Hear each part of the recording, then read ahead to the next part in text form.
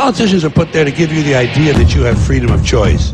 You don't. You have no choice. You have owners. They own you. Illuminati, you've come to take control. You can take my heartbeat, but you can break my soul. Well-educated people capable of critical thinking. They're not interested in that. That doesn't help them.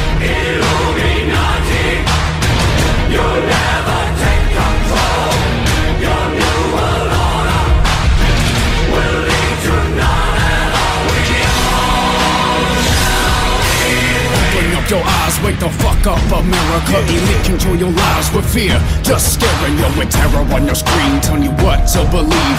But who benefits from panic, hunger, and greed?